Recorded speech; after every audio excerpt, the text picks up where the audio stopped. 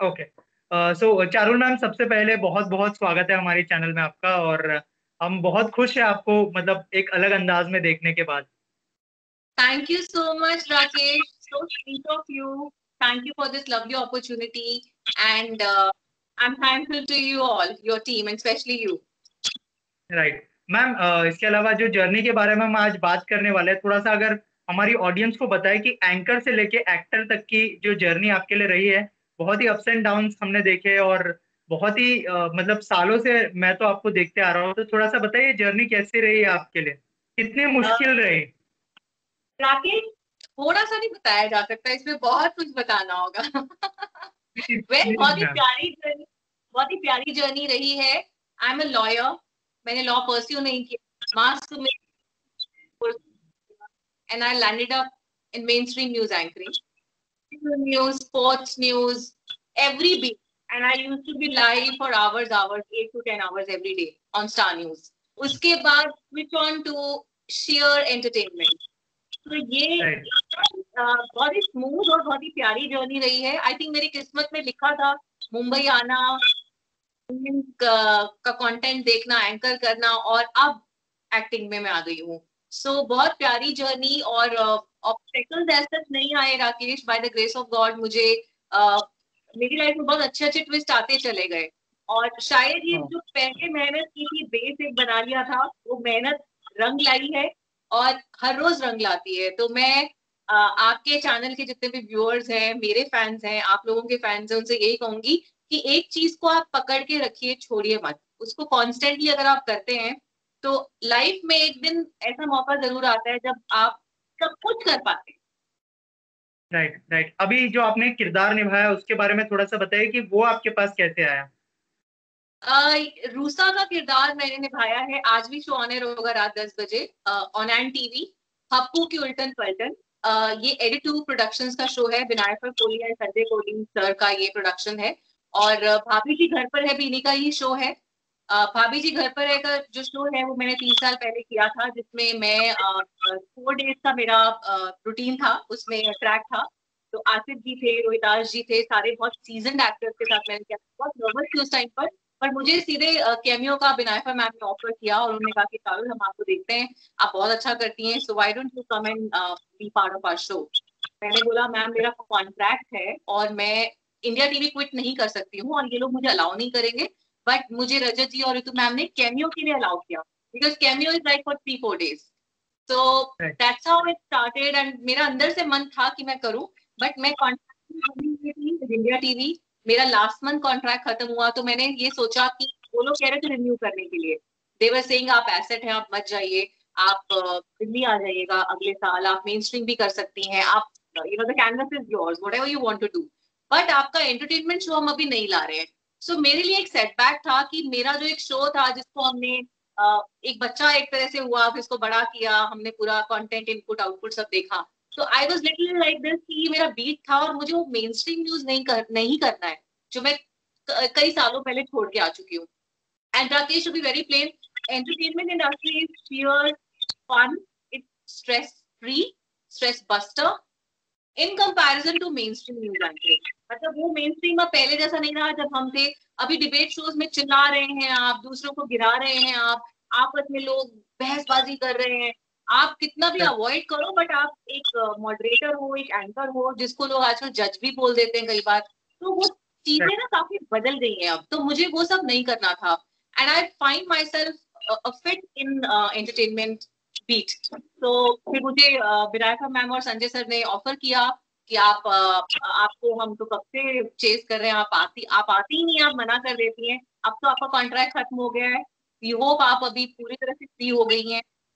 से तो आपको हम ये रोल ऑफ़र कर रहे हैं। और मेरा राकेश एक दिन में कॉल आया एंड नेक्स्ट डे से मैंने शूट करना स्टार्ट किया सूरत में। So it was just a day call जिसमें मुझे आरटीपीसीआर टेस्ट कराना था कोरोना टेस्ट कराना था in order to travel and shoot with tyre तो ये एक दिन में ट्विस्ट आया it was like a sudden twist and I accepted मैंने मैम और सर से कुछ ज़्यादा नहीं पूछा बिना था मैम और संजय सर से मैं I trust them like my family मैंने बोला आप दो रोज दोगे आपको and I will definitely do it and give my 200% so जो मेरा रोल है ये रूसा का है कमिश्नर जो बनते हैं इसमें किशोर जी उनका रियल नेम है।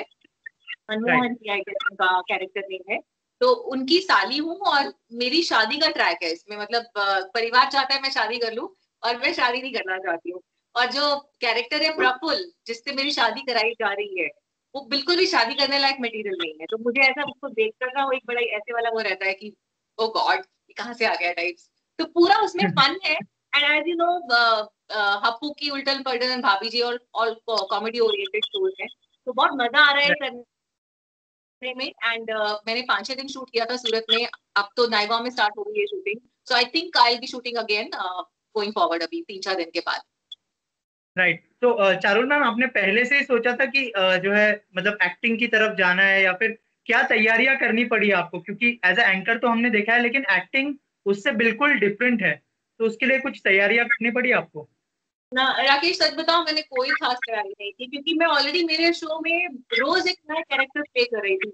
एक चीज़ बस अलग थी मेरे शो में मैं खुद की डायरेक्टर थी खुद की स्क्रिप्ट राइटर थी खुद की स्टाइलिस्ट थी खुद की क्रिएटिव थी और खुद की एंकर थी राइट यहाँ पर एक एक्टर का रोल प्ले करना है पूरा स्टाफ है बड़े मतलब आपको हैंडल करने के लिए। तो मुझे कोई ऐसे स्पेशल होमवर्क नहीं करना पड़ा. इनफैक्ट मैं बहुत नेचुरल जैसे अभी आपसे बात कर रही हूँ. मैं ऐसे ही बात कर रही थी. शो में मुझे रोल दिया गया है उसकी मुझे खुद को ही प्ले करना है basically I am very much starting playing and कुछ ज़्यादा तैयारी नहीं करनी पड़ी बट मैं सारे क्रू को जानती हूँ पहले से. I know Yogesh Tripathi I know Kamna ji I know Himani Shivpuri I know वो नॉट हैया जो है उनके बच्चे बनते हैं. ऑलमोस्ट मैं सबसे पहले मिल चुकी हूँ योगेश जी के साथ तो मैंने चार पाँच बार मेरे शो में उनको इनवाइट करके उनके साथ एंकरिंग की है। वो भी थीमेटिक एंकरिंग जिसमें मैं भी पुलिस वाली बनी थी उनके साथ। मुझे भाभी जी और हप्पू का जो पूरा क्रू है ना वो ऐसा लगता है जैसे आ, मैं सालों से जानती हूँ और मिलते रहते हैं हम लोग पार्टीज़ में और एक इक्वेशन हमारी बहुत अच्छी है। तो मुझे बिल्कुल ऐसा नहीं लगा कि मैं नई आई हूँ और मुझे यूनिट ने भी वहाँ पर क्रू ने भी प्रोड्यूसर डायरेक्टर सबने बिल्कुल ऐसे ट्रीट ही नहीं किया कि कहीं अलग से I I was like day one से मेरा जब शॉट लगा तो मैं हल्की सी नर्वस थी अंदर से रीटेक ना हो जाए मेरी वजह से। But touchwood I don't remember मेरा कोई रीटेक हुआ। मैम uh, सास बहू और सस्पेंस की टीम को कितना मिस करने वाली है? जो आपके साथ जो आपके रिपोर्टर्स uh, काम कर रहे थे उनको कितना मिस करने वाली है I am already missing them Rakesh. आज मैं लाइव कर रही थी was there. Paris is always in touch with me. Uh, Ashutosh is always in touch with me. So there are a lot of reporters जो चले गए इससे पहले से भी। मैं सबको मिस करती हूँ और सबके साथ टच में हूँ। एंड आई होप उनके साथ जल्दी फिर कभी काम करें। Let's hope for the best बाकी मैं सबको मिस करती हूँ और सब भी मुझे उतना ही मिस करते हैं। और मैम आप जो है टेलीविज़न का बहुत लंबे समय से हिस्सा रही है। जो टेलीविज़न में इस समय चल रहा है उस बारे में क्या कहना चाहेंगी? सबसे पहले जो करण और निशा की खबर आई वो आपने सुनी होगी। और उसके बाद जो पर्ल की खबर आई उस पूरे ये दोनों मामले में क्या कहना चाहेंगे आप? राकेश मुझे लगता है करण और निशा दोनों मेरे बहुत डियर फ्रेंड्स हैं। जितनी निशा मुझे प्यारी है उतना करण मुझे बहुत प्यारे हैं। दोनों की जो कहानी निकल कर आई है निशा ने जो क्लेम किया करण ने तो कुछ बोला ही नहीं है। I think I couldn't see any of his post और मीडिया इंटरव्यूज़ तो जो भी हुआ है बहुत ही अनफॉर्चुनेट रहा है क्योंकि uh, इन दोनों को हम बहुत ही आइडियल कपल की तरह देखते थे। बट इसको इतना बड़ा भी नहीं बनाना चाहिए क्योंकि ना अप्स एंड डाउन सबकी पर्सनल लाइफ में आते रहते हैं। बट ये जिस तरीके से आ, सामने आया वो बहुत ही हार्ट ब्रेकिंग था। कहीं ना कहीं and I can understand Nisha को भी कैसा लग रहा होगा करण को भी कैसा लग रहा होगा। अभी मैं दोनों को जानती हूँ सच बताऊँ मेरी ना तो निशा से बात हुई है ना ही करण से बात हुई है। बस एक व्हाट्सएप एक्सचेंज हुआ दैट्स इट बट बहुत दुख हुआ। दुख इसलिए हुआ कि दोनों मेरे बहुत करीब है। And Kavish the little one उसके बारे में सोच के और मुझे बुरा लगा कि पेरेंट्स में ठीक है, वो तो मेच्योर है बट बच्चे का क्या कसूर है? बच्चा तो मिस करेगा पापा को। I think Kavish is with Nisha तो कहीं ना कहीं ये सारी चीज़ों ने मुझे यू नो मेरे को, मैं रात में सो नहीं पाई। मतलब मुझे बहुत ही अंदर से बुरा लग रहा था। आई वाज लाइक क्या कर सकते हैं? हम काश कुछ करें, काश कुछ कर पाए but nothing is in our hands and Pearl का जहाँ तक आपने क्वेश्चन किया पर्ल भी पूरे भी मेरे बहुत अच्छे फ्रेंड हैं कि उनको भी आ, आ, मैं मुझे यकीन होता ही नहीं कि वो ऐसा कुछ करने का सोच भी सकते हैं। जो उनके ऊपर एक्विजिशन है जो भी उनके ऊपर इल्ज़ाम लगाए गए हैं आई थिंक वो बिल्कुल गलत है। एंड uh, मैं तो बिलीव नहीं करती क्योंकि आप एक इंसान को भी देखते हो ना इतने सालों से। और पर्ल तो शाय वो बात भी नहीं करते हैं किसी से खुल के बहुत जल्दी। बहुत मिंगल अप नहीं होते हैं। सो so, मुझे लगता है कहीं ना कहीं एक पब्लिसिटी स्टंट हो सकता है not from Pearl side but the other side जिसमें कि आई थिंक वो हस्बैंड वाइफ का कुछ इशू था जिसकी वजह से हुआ। मुझे ज़्यादा डिटेलिंग नहीं पता है बट मैं सब पर्ल के बारे में बोलूँगी कि पर्ल ऐसा कर ही नहीं सकते। राइट राइट मैम इसके अलावा हमने देखा आपको शो में इतना अच्छा किरदार निभाते हुए। इसके अलावा क्या अभी जो है वेब सीरीज़ भी चल रहा है बहुत ज़्यादा ओटीटी पर? फ़िल्में भी अभी बहुत ही जल्दी शुरू हो जाएगी थिएटर में आना। इसके बाद के क्या प्लान है आपके? क्या सोचा है आपने? One thing at a time I am not impatient I am very patient बहुत ही आराम आराम से मैं चीज़ें करती हूँ और ऐसा लगता है कि अभी मैं यहाँ आई हूँ तो एटलीस्ट मुझे मेरा ये रोल अंडरस्टैंड करना है। संजय जी और विनायक मैम जो कहेंगे, उनको पहले मैं सुनूँगी, क्योंकि मेरा कॉन्ट्रैक्ट साइन होगा उनके साथ। अभी हुआ नहीं है। बिकॉज़ uh, हम लोग बहुत ही हश हश में शूट किया सूरत में हमने अब आए हैं तो I have to go and meet them also so i will take a call because uh, uh, i think we will be allowed to do web series and films and ads and other stuff. Already मुझे offers आ रहे हैं काफ़ी. In fact offers Rakesh आज से नहीं आ रहे हैं कई सालों से आ रहे हैं. बट चूँकि हाँ। मेरा कॉन्ट्रैक्ट था तो मैं कुछ भी नहीं कर पा रही थी. मतलब वो मन ऐसे ऐसे हो जाता था. ऐसे लगता था ये भी कर लो वो भी कर लो. फिर ऐसे होता था नहीं यहाँ कमिटमेंट है. तो मेरा मैं, मैं, एक ऐसे इंसान हूँ जो कमिटमेंट करती हूँ अपनी पूरी और जैसे ही मुझे अलाउ करेंगे या ऑफ़र आएँगी तो of course I will ask them also because वो मुझे शो में लाए हैं और कहीं ना कहीं मेरा उनके प्रति एक सम्मान है और एक कमिटमेंट बनती है। So definitely I like to explore more and more going forward अभी जो है सब लोग घर पर है कोविड की वजह से फिटनेस को लेके कितना ध्यान रख रही है आप? फिटनेस को लेकर तो मैं इतना ध्यान रखती हूँ कि मैं रात को यू वॉन्ट बिलीव मैं शाम को साढ़े पाँच बजे के बाद खाना ही नहीं खाती I don't eat it's been two now I have stop eating और ऐसा नहीं मैं डाइटिंग के लिए कर रही हूँ। पूरा दिन सब अनशर्ट खाती हूँ जो मिलता है वो खाती हूँ। कुछ नहीं but I am vegetarian but I eat everything but I don't eat post five thirty and believe me ये हमारे पूर्वज कहते थे कि आप सूर्यास्त के बाद कुछ भी मत खाइए। एंड यू डू इट आपको इतना फ़र्क लगेगा ना खुद की बॉडी में। एक्स्ट्रा फ्लैब ही नहीं है। मतलब और जो जो थोड़ा बहुत रहता है आप वर्कआउट कर लो। सो so, अभी तो घर में ही वर्कआउट होता है आई डू योगा एक दिन योगा करती हूँ एक दिन एब्स करती हूँ एक दिन लेग्स करती हूँ एक दिन वॉक करती हूँ। ये चलता रहता है। और दो दिन चीटिंग करती हूँ दबा के लेकिन चीटिंग में भी मैं साढ़े पाँच बजे के बाद खाती नहीं तो कहते हैं ना कुछ पाने के लिए कुछ होना पड़ता है। आई थिंक मैं फिट हूँ अभी तक ये सब रीजन की वजह से and I am not a foodie मेरा टंग से कोई रिश्ता नहीं है। कोई रिश्ता नहीं मेरा मेरे बोलने से है हाँ। खाने से तो मुझे ना कुछ ऐसा बहुत ही वाव नहीं लगता है कि अरे चाट आई है अरे पापड़ी आई है अरे गोलगप्पे आए। आई डोंट मेरे को खाना ऐसे रखा होता है मैं ऐसे नॉर्मल देखती हूँ। सब लोग खा रहे हैं फिर तो मैं ऐसे चले जाती हूँ। कुछ फ़र्क ही नहीं लगता है अभी। तो इट्स लाइक दिस नाउ तो एज एन एक्टर कौन इंस्पायर करता है आपको? क्योंकि अब जो है आप एक्टिंग करने वाली है फ्यूचर में भी तो कौन इंस्पायर करता है आपको एज एन एक्टर मुझे मैं कॉमेडी की बात करूँगी पहले क्योंकि कॉमेडी शो में कर रही हूँ और मुझे कॉमेडी वीडियोस और मेरा जो पहले भी मोस्टली मेरे शो में थीम रहता था थोड़ा कॉमेडी ओरिएंटेड ही रहता था। तो I am a big fan of Grover I have anchored with Manish Paul the kind of uh, spontaneity he has it's like awesome mind blowing and krishna he's another comedian that i really love. मतलब ये तीन चार ऐसे हैं बहुत natural comedians हैं जिनके साथ आप आप तो राकेश उनको भी जानते हो। आप ऑफलाइन मिलो इनसे वो आपको भी रैंक करेंगे। सुनील ग्रोवर से मिल हाँ। भाई यार राकेश कैसा है भाई? क्या हो रहा है भाई? बड़ा स्टाइलाइज बना रखा है तुमने स्पाइक बना रखे हैं। मतलब उनका ना कुछ भी नॉर्मल नहीं होता है। And you look at Manish Paul in personal life also they are you know एकदम मतलब they will keep dragging in a positive way. They will keep you know creating lot of uh, entertainment around. So ये बड़ी अच्छी चीज़ लगती है। And अगर मैं normal uh, roles की बात करूँ नॉर्मल मतलब नॉट कॉमेडी ओरिएंटेड तो आई रियली लव मनोज बहुत ही नेचुरल एक्टर हैं और आजकल तो वेब सीरीज़ में भी हम देख रहे हैं उनकी सारी वेब सीरीज़ आ रही है। इवन सुनील ग्रोवर ने कितना अच्छा सनफ्लावर में काम किया है। It's like you know versatile जो जिसे कहा जाता कहा जा सकता है वो सुनील ग्रोवर है। और एक्टर्स का मैं नाम लूँ तो आई थिंक लिस्ट बहुत लंबी है। फ्रॉम सलमान खान टू शाहरुख खान ये तो ऑल टाइम फेवरेट रहे हैं मेरे specially Salman Khan. I mean he is like he is like moody एकदम। बिग बॉस में जब प्रेस कॉन्फ्रेंस थी जब बिग बॉस आया था uh, मैं घर में भी गई थी बिग बॉस के मैंने सबको ग्रिल किया था विद फरा खान तो Salman was like you know मेरे को भी रैक कर रहे थे वो। मतलब ही वाज लाइक मूडी एकदम। हाँ जी मैं ऐसे करके अपने बाल ठीक करे हुए बोल रहे हाँ। ये है चारू वाली को बोल रही है कि बाल ठीक है ना? यू नो दैट जब सेट पर आते हो तो एक अलग सा मैजिक क्रिएट हो जाता है। तो from Salman to Shahrukh to Sunil Grover to Manish Paul to Krishna to Manoj Vajpayee the list is long and I really like Madhuri Dixit I really like choreographer Geeta ji ऐसे बहुत सारे लोग हैं uh, जिनकी मैं personally बहुत बड़ी fan हूँ और आई रियली लुक अप और मैं उनको देखती हूँ तो बहुत कुछ सीखती हूँ। मैम इसके अलावा बिग बॉस के स्टेज पर बिग बॉस के घर के अंदर हमने बहुत बार देखा है।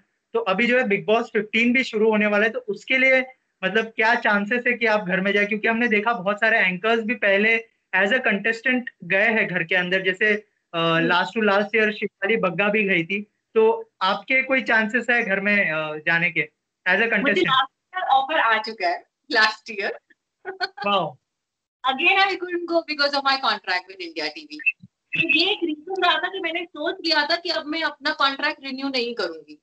और ऊपर से एक रीजन बन गया कि हमारा शो भी लॉन्च मतलब बंद हो गया होल्ड हो गया। सो हाँ. so, ये दो रीजन बन गए। नहीं तो मैं लास्ट ईयर बिग बॉस में जाती फिर उन्होंने मुझे बोला कि आपको हम बिग बॉस के एटलीस्ट आप घर में आओ और ग्रिलिंग सेशन तो करो if not as a contestant then I was there for you know two days with Farah तो या बट देखते हैं आगे। uh, पता नहीं मुझे मुझे लेके कोई कंट्रोवर्सी uh, तो बिग बॉस वालों को शायद नज़र ना आए।